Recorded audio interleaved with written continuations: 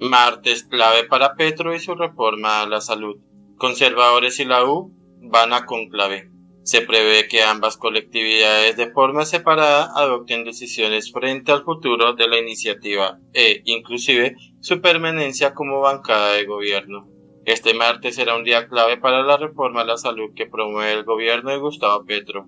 En encuentros separados, los partidos conservador y la U sostendrán reuniones durante la mañana para definir su postura frente a la iniciativa y, por ahí derecho, adoptar decisiones con miras a su permanencia o no en la bancada de gobierno. Por un lado, las bancadas de Senado y Cámara de los Godos se reunirán desde las 8 de la mañana de manera conjunta en la sede del Partido Conservador en Bogotá.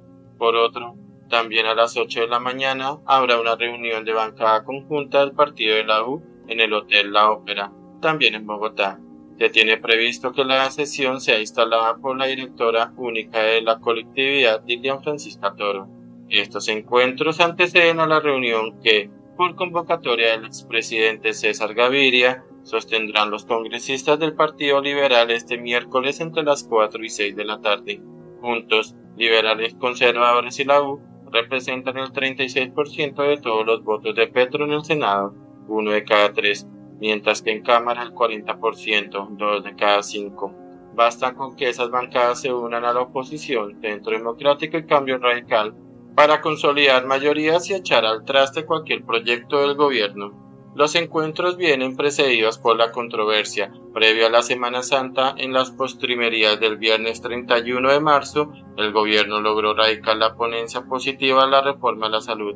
Pese a la posición de los jefes de los partidos contra todo pronóstico, el documento fue respaldado con su firma, además de los cuatro congresistas del pacto histórico, por dos ponentes de los partidos conservador y la U, Gerardo Yepes y Camilo Ávila respectivamente.